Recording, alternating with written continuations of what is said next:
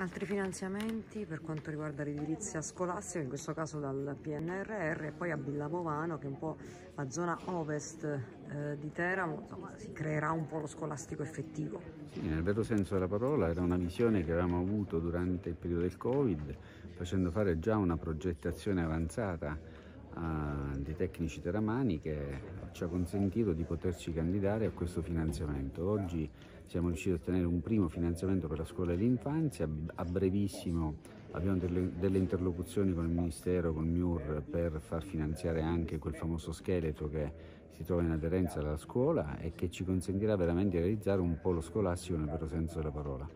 È un risultato importante, è un risultato e una risposta importante alla città che andiamo a dare anche sotto un profilo dell'attenzione e della vicinanza al territorio perché le zone frazionali non vengono dimenticate, non sono state mai dimenticate. La frazione Villa Romano avrà questa importantissima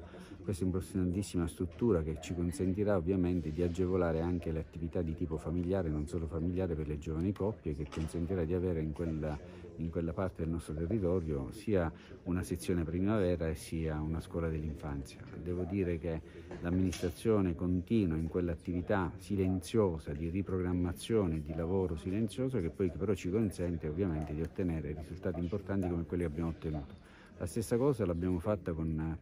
diciamo, la struttura, il micronido che abbiamo sul parco fluviale dove abbiamo, ci siamo candidati per un ampliamento e anche una ristrutturazione dell'edificio esistente che ci consentirà veramente di realizzare anche in quel caso veramente una struttura, un nido nel vero senso della parola. Veniva definito micronido perché mancavano alcuni diciamo, locali necessari per poterlo definire nido nello stesso tempo con questo finanziamento importante di 1.700.000 euro ci consentirà veramente di avere anche in quella zona così tanto amata dai teramani, un parco fluviale al centro di una zona naturalistica nel vero senso della parola, una struttura così importante che sarà, raccoglierà diciamo, un numero importante di ragazzi. Ecco, per definire nido quindi praticamente ci sarà una un refettorio, cosa che non c'è adesso. Benissimo. Questo, questo, questo progetto ci consentirà di adeguare quell'edificio a quelle che sono le esigenze reali normative di un vero e proprio nido.